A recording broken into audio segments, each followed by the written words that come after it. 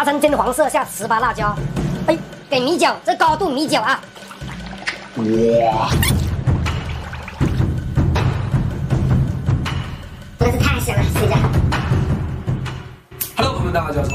对于麻辣菜品，我还是蛮喜欢的，像是麻辣烤鱼、麻辣鱼啊、水煮鱼这些冒菜、麻辣烫这些。那么这些菜品都能强烈刺激我的一个味蕾，需要用到的就是这个麻辣火锅底料。但市面上琳琅满目的品种，看得我眼花缭乱。但最根本的就是那个要吃的放心，吃的安心才是最重要的。那么今天张氏麻辣牛油火锅底料就问世了，它完全可以满足我这个冬天想要吃麻辣菜品的一个需求。好了，废话不说，我们就开始吧。那么这就是所用到的所有用料，具体我会以文字形式打在视频后方，下面简单来介绍一下吧。这个八角、桂皮、去籽的草果跟砂仁、小茴香、香叶、干辣椒、白蔻。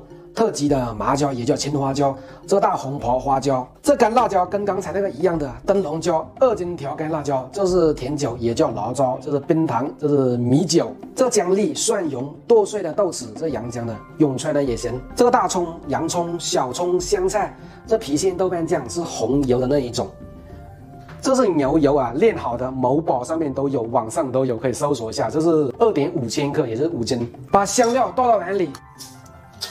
加水清洗一下，洗去沙尘的同时，等下在炸的时候也不容易炸焖。麻椒跟花椒倒在一起，给点高度米酒，这可以充分激发它的香麻味。三种干椒放在盆里，这种干椒是增香，然后上色用的，微辣那种。我也不是吃的很辣。对了，所有辣椒蒂都给它去掉。可以了，加开水把它泡软，等下就好剁了，剁成糍粑辣椒，给它泡着。下一步来炼牛油，锅一下牛油，哟，差点，这里是五根啊，中小火把它炼融化。趁这个时间把豆瓣酱搞碎，剁也行，搅拌也行，看自己的。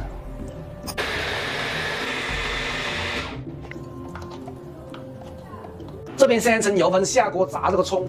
把这个葱香味炸到牛油里面去，这样子做出的火锅底料就非常香了。把这个泡好的辣椒搅碎，你剁碎也可以，反正弄碎就可以了。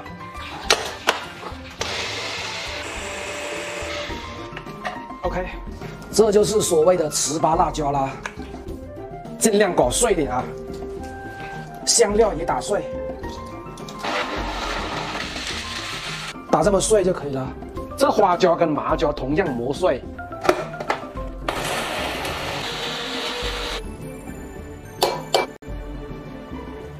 这边葱香味也完全释放出来了，现在把它捞起来，哇，好香啊！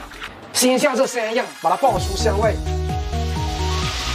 炸成金黄色下糍粑辣椒，哎，豆瓣酱也搞到里头，记住中小火慢慢熬，熬出这个糍粑辣椒的水分才能炒得香，不停的翻动，防止它弄底。现在是熬了三十分钟的样子，差不多了。又熬了十分钟，可以了。给米酒，这高度米酒啊，去腥增香的，那个牛油有一定的生熟味。给甜酒，冰糖搞到里头，把酒味给它炒挥发掉。下香料粉、花椒粉，还是香叶、八角，这是装门面的啊。这干椒也是装门面的。再熬个十分钟就可以了。切记这个香料跟花椒最后才放啊，这容易挥发的，不能放太早。可以了，哇，亮亮亮，太香了。这个熬好以后，最少要给它静置十个小时以上啊，这样子那个香味才能充分释放出来。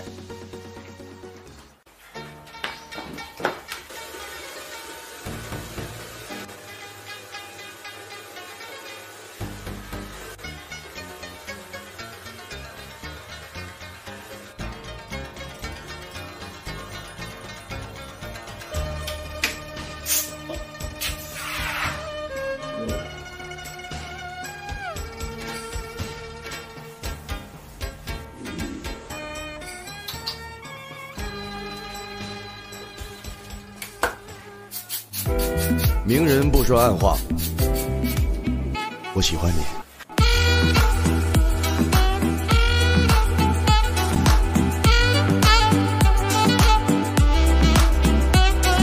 终于做好了这个景，先来尝试一下吧。这个东西呢，要取出来的话，就用热水烫一下下面，再把它倒出来，然后再用刀切成你想要的大小，然后再用那个保鲜膜把它封起来啊，这样子就用的话就比较方便了。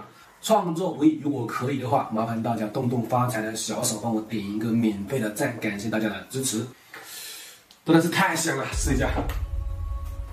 上面一层都是这个牛油啊，非常香的，我都不舍得挖，太漂亮了。这里需要注意一下，我做这个的时候没有放鸡精、味精，大家想提鲜味的话，可以根据自己的喜好来放那个味精、鸡精，还有那个生抽啊这些，试一下。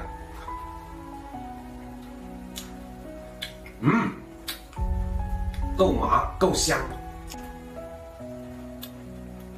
它是偏咸一点点的，爽爽，真的这样子吃就特别香啊！我调这个辣度是中低辣，我也不能吃太辣。想吃辣的话，可以放这种小小个的辣椒。我用的是这一种，这种小个的特别的辣。